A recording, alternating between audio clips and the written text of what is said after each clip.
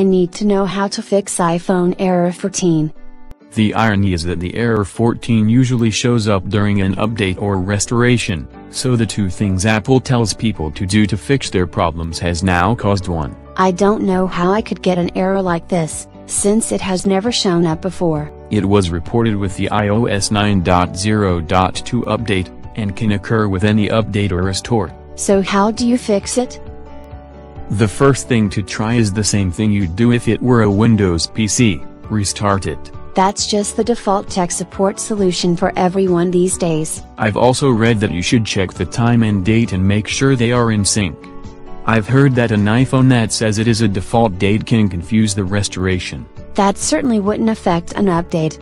The next thing to check is that iTunes is up to date.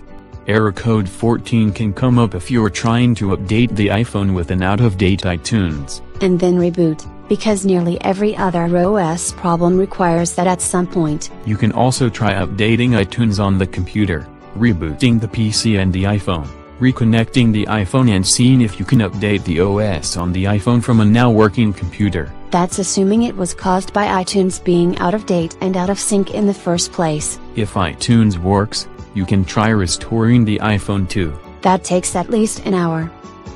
So update your security software and try the iPhone update or restore again. Sometimes this problem comes up if the antivirus comes up and reports an issue. iPhones don't get viruses. First, iPhones and i anything can get malware, just don't get it as much. Second, viruses that infect devices through browsers don't care what operating system you have short of Linux. And running an Apple device using Linux requires one amazing jailbreak. If you jailbroke the iPhone, you could get this error code too. The jailbreak adding a virus to your device could be triggering the antivirus, as well. I don't jailbreak devices because of how buggy that makes the device. So update the antivirus and scan your iPhone. If everything comes back okay, turn off your security software and see if you can update or restore the phone without the antivirus getting in the way. What else can I try? Try a different cable or port in case the issue is actually hardware related. I could try cleaning the port too.